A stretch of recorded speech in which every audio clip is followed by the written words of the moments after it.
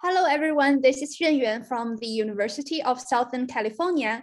Thanks the organizers for inviting me. It's a great pleasure to speak at the workshop on time series generation and anomaly detection in high dimensions. Today, I'm going to talk about a very recent work on learning to simulate tail risk scenarios this is based on joint work with Rama, Mihai, and Chao uh, from Oxford. And the paper is available on arXiv and SSRN. Please check it out if you're interested. So I'll start with some motivation on what is market simulator and why we are interested in constructing a realistic market simulator. If we denote P data as the joint distribution of some price uh, dynamics over a given time period or some financial scenarios, uh, the goal for us here is to construct a model which uh, given some samples from the real data so that the model is similar to the true financial data under certain criteria. And why we are interested uh, in constructing such a market simulator, because simulator will provide us uh, with a lot of or unlimited data and can help us to make better trading decisions, test uh, uh, back testing strategies, and help us to improve the risk management.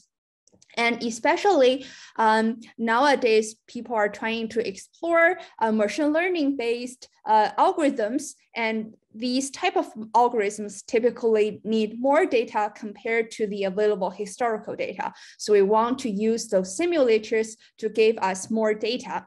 And sometimes um, there are there will be like privacy issues for uh, sharing data and for security reasons it's very sensitive to share data.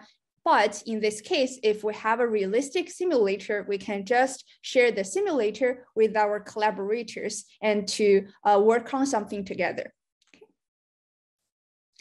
Mm, traditionally, um, uh, the, the, mark, the market simulators are constructed uh, using parametric models.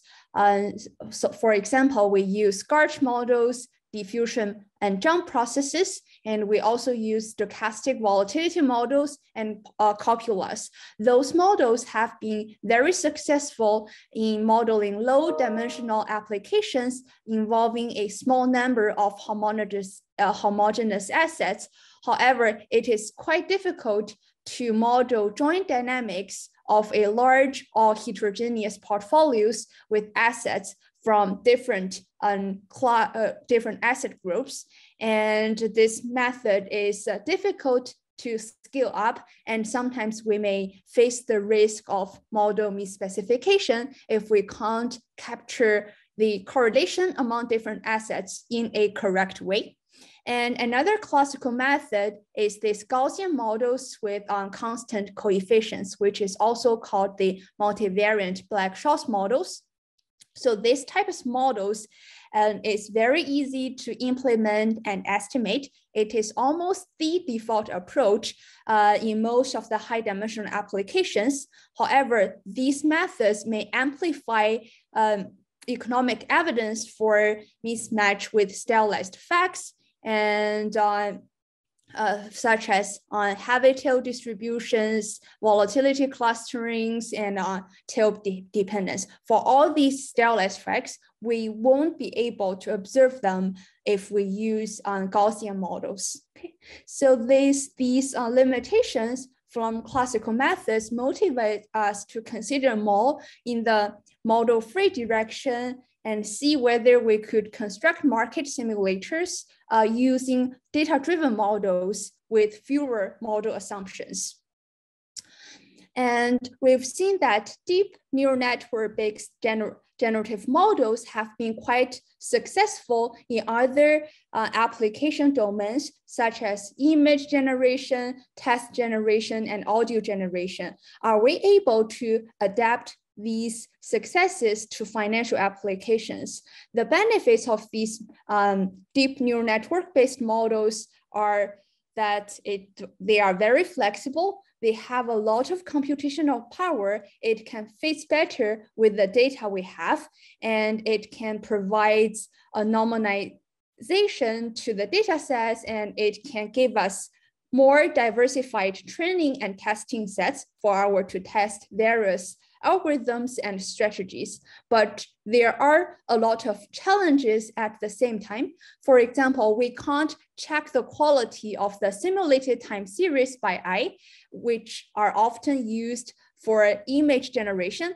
And we do want our uh, simulated data to be consistent with the market of uh, the real financial market in the sense that we want to have consistent stylized facts. And for financial markets, interpretability is very important. We want to make sure that the proposed method have some guaranteed uh, properties. We don't want pure black box methods.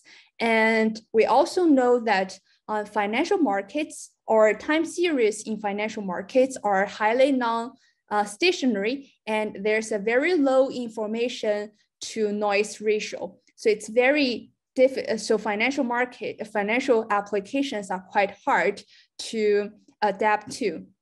And we want to make sure that the simulated data have um, controllable risk. And we also want uh, our generated data to have this non-anticipative property, which is observed in our real financial world. So these are the challenges we need to tackle when we consider applying these uh, neural network-based method to financial applications.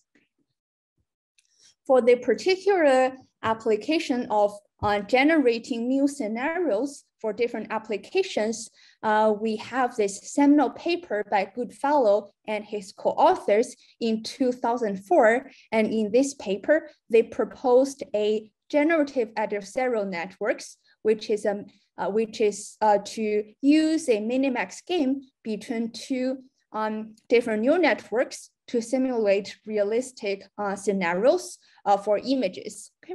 So they consider they, they, they, they use a unsupervised uh, machine learning framework and they consider a minimax game between a generator, generator network, we call this player G, and another player is called the discriminator network. So for player G, she is trying to fool player D by producing very natural looking data from a random, random latent vector Z. So our player G will map a latent vector Z to a very natural looking data, which could mimic the real data set. And player D, which is, a which is the discriminator, or we can call this player D the teacher, uh, teach, uh, the teacher and the discriminator want to distinguish whether this um, data is from the real data set or it is generated by our player G. And player D gets better in distinguishing between real and generated data. And uh, we want to have these flavors in the design of the generative adversarial neural networks. Okay. So this is a mathematical framework for the generative adversarial networks. And this is the objective function for both player G and player D. So we see that uh, this loss function has two parts. The first part is the expectation under the distribution of the true data for the log of the score um, by our discriminator. And the second part is the log one minus the score from the discriminator. So if the discriminator thinks uh, like data X is from the true data distribution, then the discriminator will assign score one to this data point. And if our discriminator thinks, oh, this data point is actually generated by the generator, then he will try to assign score zero, which means this is a fake, a fake picture or fake data. And uh, uh, so the goal for the discriminator is to distinguish true data from generated data, whereas for our a generator, generator is trying to mimic the true data set and fool uh, this discriminator. So this is how this loss function is designed so that we have this functionality, the minimum uh, minimax game between the generator and the discriminator.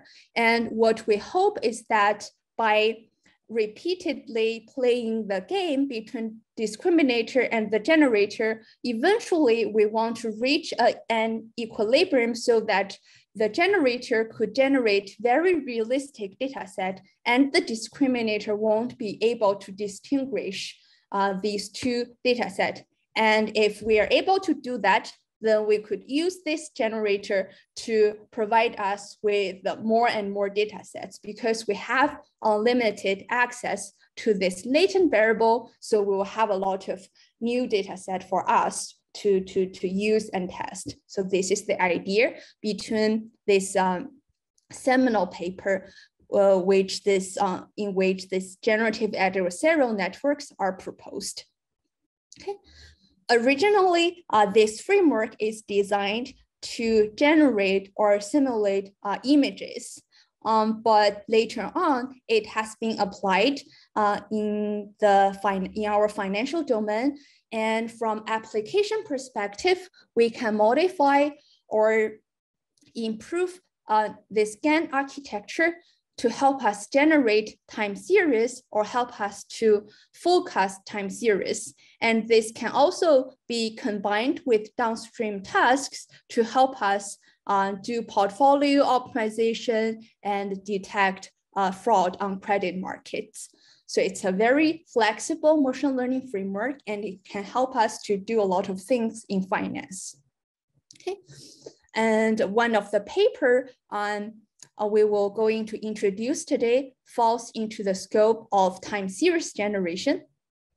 And from the design perspective, we can modify the neural network architecture in order to adapt to different type, different data type and different data structure.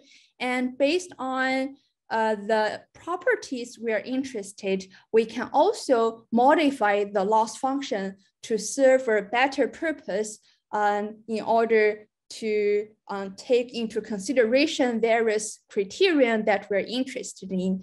And for our uh, Tail-GAN paper, uh, we modified the loss function to capture more precisely the tail risk of our distribution. So um, this is uh, due to time limits, I'll just briefly introduce uh, what are the uh, key ideas for this uh, uh, tail which help us to uh, generate um, financial scenarios that have a focus on risk evaluation so that we are guaranteed the simulated data will have the consistent tail risk measures compared to realistic financial data sets. Okay, so for loss function design, because we are mainly interested in the risks for the generated scenario, so we directly put these risk measures like value at risk and expected shortfall into the design of the loss function. So we are not that interested in what happened in the middle. We care about um, risk maintained in various financial scenarios. We want those risk measures are consistent with the uh, data we observe from real financial markets. Okay, and this for this uh, value at risk and expected shortfall are integrated into the loss function by utilizing the joint elicitability property uh, of this uh, statistics.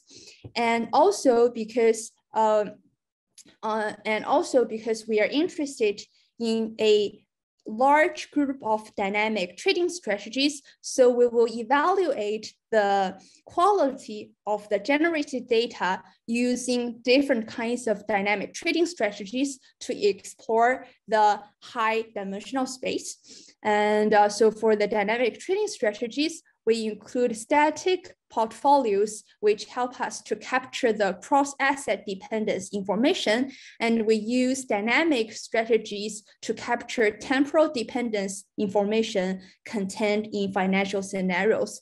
And in terms of the architecture design, uh, we used a, a, special function called neural sorting. It helps us to um, utilize some certain invariant property from our data structure to make the whole computation more efficient. So this is a brief introduction about the architecture design.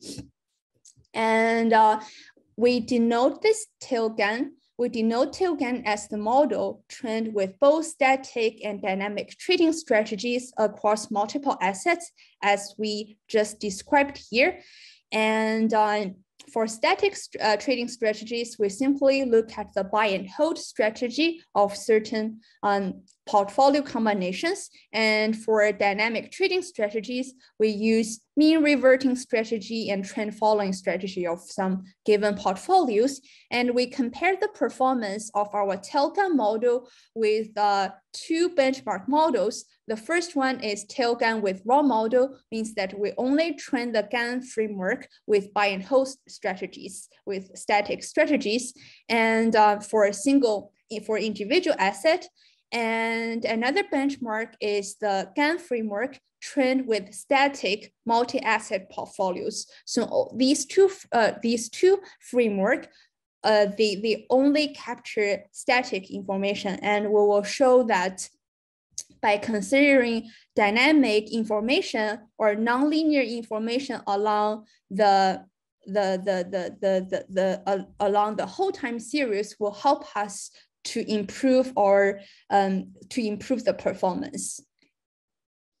Okay, so this is a um, this is an example we have uh, when we perform the strategy uh, using some um, um, uh, simulated uh, scenarios. So we can see that if we uh, compare the performance of three different GAN models, they have similar uh, performance uh, when we apply them on buy and hold strategy.